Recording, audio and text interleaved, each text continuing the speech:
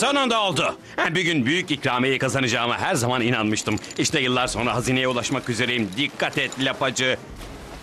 Hemen kaptan dikkat. Ay. Gemisi dalgalı suları bir kasabın keskin bıçağı gibi yararak ilerlerken kötü korsan Jack için bu tam bir kader anıydı. Yıllarca aradıktan sonra kariyerinin zirvesi olan hazineye yalnızca 7 saatlik yolu kalmıştı. Akılsız, yosun kafalı satıcının hazinesine sahip olmak üzereydi.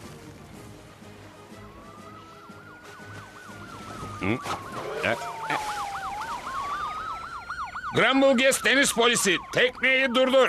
Ama memur bey sürmüyordum bile. E, Görüyorsunuz otomatik efendim. Tekneyi dengesiz kullanıyordunuz. Şu eşek bağırsağına üfleyin lütfen.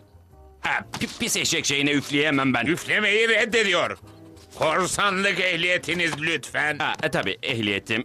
E, e, Nasıl da unuttum. Dün gece kör bir polise yardım ederken onu E, kaybettim. kaptancım. Ne var Cenk? Biraz karıştırmıyor musunuz? Siz dün gece Icepeak McPonahan'la dışarı çıktınız. Sonra da kör bir polisi nasıl soyup sonra çevirdiğinizi gülerek anlattınız ve sonra... Seni kuş beyinli. E korkarım ki ehliyetim dün gece aç bir polis köpeği tarafından yenildi. Eminim sizin gibi zeki, anlayışlı, e, stil sahibi bir polis gerçeği görecek ve beni bir uyarıyla serbest bırakacaktır.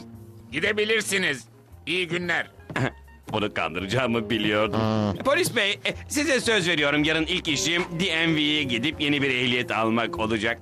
İçin doğrusu lapacı ehliyet almak için o berbat kuyruğa asla girmeyeceğim. Göreceksin. İyi de zaten gerek yok ki. Ehliyetiniz burada bakın.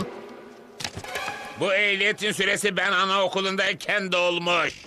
Ay, Beni ele vermek zorunda mısın? Ha? Dur bakalım. E, Müthiş bir planım var. Ustanı çalışırken seyret lapacı. E, polis bey, e, sanırım bu kremalı çöreği siz düşürdünüz. Onu eve götürüp bu küçük olay hiç olmamış gibi davranabilirsiniz. Aa, e, sanırım jöleliymiş.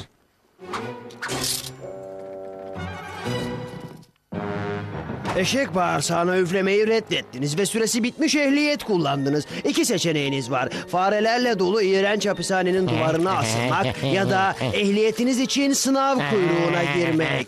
Anladınız mı beni şimdi? Hapishaneye gideyim o zaman. Akıllı bir seçim olduğundan emin misiniz kaptan? Büyük ikramiyeye ulaşmanın tek yolu bu lapacı. Bütün yapacağımız öğleden sonra hapishanenin komedyenini izlemek ve bunun keyfini çıkarmak. DMV'ye gitmekten daha iyidir inan bana. Merhaba, ben komedyeniniz Bayat Renemus. Komedi dersine hoş geldiniz. Buraya gelirken düştüm ve kemiklerim sızladı. Ha kemiklerim demişken bu iskeletler yemek kuyruğunda Orson Welles'in arkasındaydılar herhalde değil mi? E, gidip kuyruğa girelim lapacı. Yeter! İşte çılgın deniz tekneleri departmanı. Günün sonuna yaklaştık. Mantıklı düşünürsek bu yüzden kuyruk çok hızlı bir şekilde ilerliyor olmalı değil mi? Lapacı korkarım numaramız 96473. Ama iyi tarafını görün biraz kaptancım. En öndekinden sadece 28.962 gerideyiz. Bin eksik bin fazla yani ne fark eder?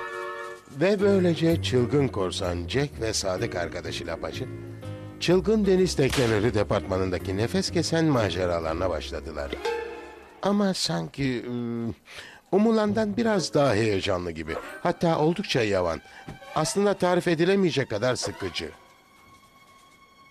Bana bak dış ses bozuntusu işe yaramayacaksan toz ol. Ne? Hemen. Benimle böyle konuşma. Neden sen toz olup gitmiyorsun? Sen toz ol. Sen toz ol. Sen. Sen.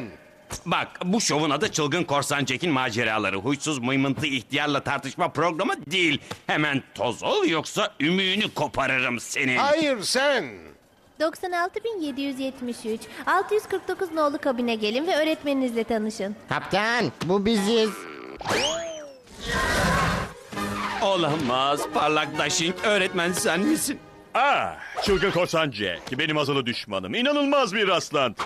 Çene ameliyatım için burada ek iş yapıyorum. Ortak nefretimize rağmen senin için elimden geleni yapacağım. Hadi göz testiyle başlayalım ha? Ne dersin? Hadi gelin bakalım.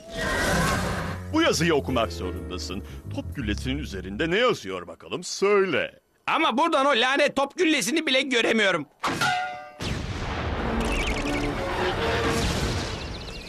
Korkarım göz testinde hiç başarılı olamadın çılgın korsan Jack. Bir sonraki test sınavın için hazır mısın? Söyle bakalım. Yalvarırım söyle ne testi bu?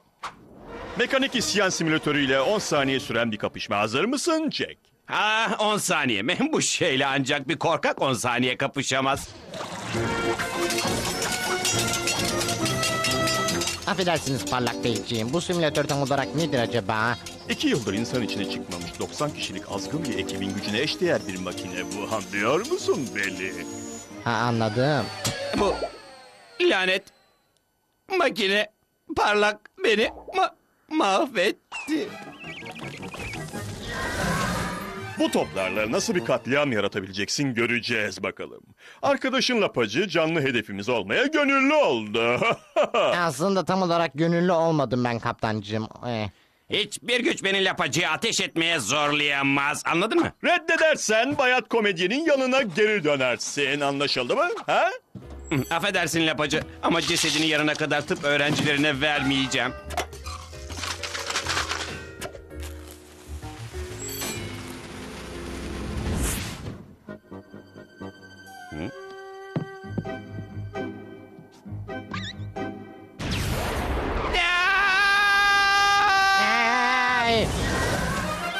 Son testten bir öncekine geldi sıra.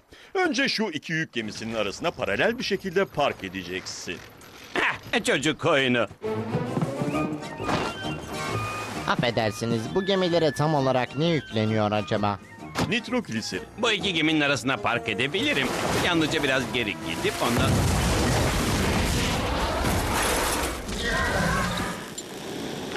Tamam. Jack artık yapacağın son şey geminle birlikte yokuş aşağı giderken frene basmak ve tamamen durmak. Anladın mı? Sakıncası yoksa sorabilir miyim? Bu testleri bana karşı hazırlamadın öyle değil mi? Kesinlikle hayır. Bu sefer beni kimse ezemez, yakamaz ya da dilimleyemez. Hiç kimse. Yokuş aşağı gideceğim, freni çekeceğim ve tekneyi durduracağım. Bunun dışında hiçbir şey yapmam gerekmiyor. Kesinlikle. Lapacı teknenin ipini çöz. Bir dakika, e, deniz tavuğunun bir freni yok ki. Ve denizde eğimli bir yer de yok, e, şeyin dışında. Şelale. Eh, Hala, hala bu testi geçme şansım var. Eh, Yapacağım tek şey yolunu bulup tekneyi eh, tamamen durdurmak. Eh, eh, eh, oh. Jack. Testlerde tamamen başarısız oldun.